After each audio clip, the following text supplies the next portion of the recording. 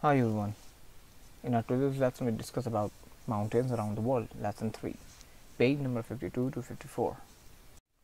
Learning objectives were give reasons to show why mountains are important. Name important mountains in the world. What are mountains and the reasons why mountains are important?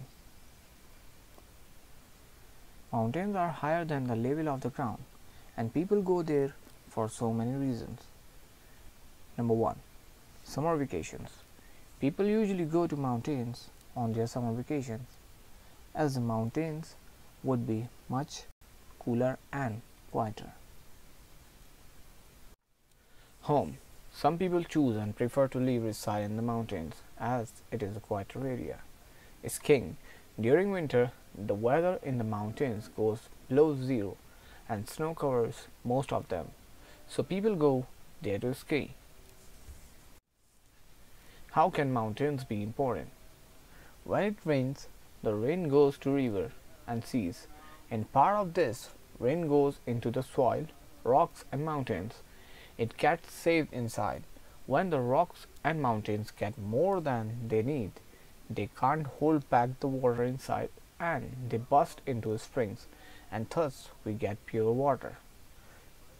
Also mountains have fertile soil.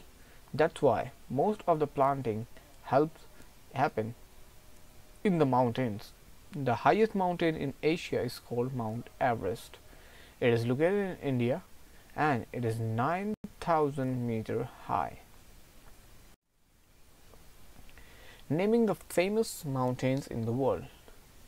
The White Mountain or Mont Blanc, French name. It is a part of the Alps range in France, Italy, Switzerland and Austria.